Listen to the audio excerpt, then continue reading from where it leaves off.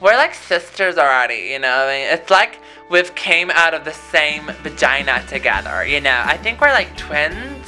You know, we look alike and we're so pretty. But seriously, when it comes down to it, I think I'm a little prettier. Like, like look at me compared to you. Like, I have really nice lips and beautiful big eyes. I think I'm beautiful compared to you. Like, you got a better, a better ugliness. You would be like the ugly duckling twin, you know.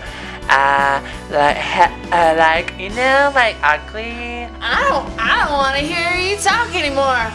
I'm the one who's talking. That's just my opinion. Like, if I was your mother, I would be like, that's the ugliest baby I've ever seen. I wouldn't even put you up for adoption. Like, the only reason your mom kept you is because she thought maybe she'll become a prostitute and make me some money. That's all. Like, yeah, you I can shut your I mouth. No, you shut Yeah. your mouth. I I'm know what I'm talking about I'm because talking. I'm What the hell? You think, you're so good? it, man. Well, why you don't you a shut bigger your mouth. next You time? don't Like, have to ever talk you again want for them? all I care. I'm trying to make my point. My point is more important. I I am so I I'm so sick of your nonsense. Your nonsense is so nonsensible.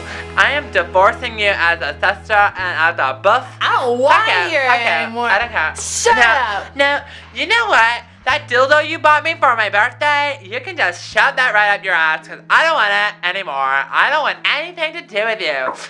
Uh, Ew, you, you just, did you just vomit on me? Go fuck yourself. I am gonna go.